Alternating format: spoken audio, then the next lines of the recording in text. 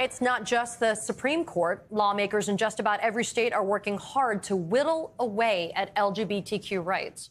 According to the Trans Legislation Tracker, lawmakers in 49 states introduced laws targeting the transgender community this year.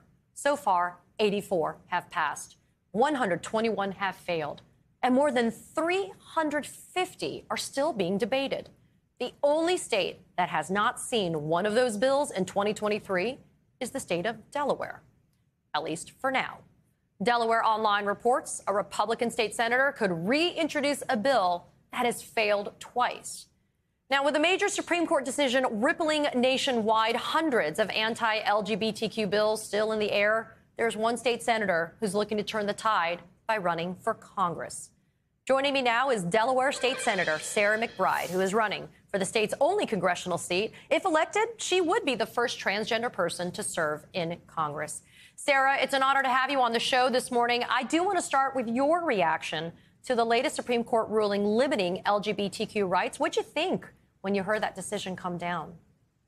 Well, first off, good morning, Katie. Thank you so much for having me on. Throughout the last several years, this Supreme Court has consistently sided with the powerful over the vulnerable. And this past week, we saw that time and time again in their cases on affirmative action. And of course, in this case on LGBTQ rights. Creative 303 is one more attempt by this Supreme Court to corrupt the notion of religious freedom for their own personal political agenda. It creates a gaping hole in our nation's civil rights laws that don't just put LGBTQ people at risk, but put so many other marginalized communities throughout this country at risk. We have to make clear this July 4th religious freedom is a fundamental American value. But what it has always been and what it should always remain is a shield to protect vulnerable religious minorities from persecution and not a sword to inflict harm on already vulnerable people. And this decision certainly reinforces the need for us to continue to fight to continue to fight for equality for all, to continue to fight for opportunity for people regardless of their background. And while I'm not running to be the transgender member of Congress, I'm running to serve Delaware and to make progress on all of the issues that matter. The Supreme Court decision certainly reinforces the need for us to have a seat at the table in policymaking, for us to recognize that when we're talking about LGBTQ rights, we are talking about people. And at this critical moment with so many attacks on our community, to show LGBTQ young people that the heart of this country is big enough to love them too. You know, there's something that you said that really struck with me, and I want to emphasize it for my viewers right now. You talked about the dual story of progress and pain, and you said we can turn that pain into progress as long as we summon the hope necessary to see this fight through. How? How do you have the optimism, the hope, the faith that you're going to be able to deliver these results for all people to make our communities safe and for people that feel marginalized and disenfranchised? What are you going to be able to do if you're able to successfully win and go to Congress? Well, first off, Katie, I have seen too much change. I have seen too much progress to lose hope now. When I came out, the idea that someone like me could serve authentically in a state legislature seemed so impossible that it was almost incomprehensible.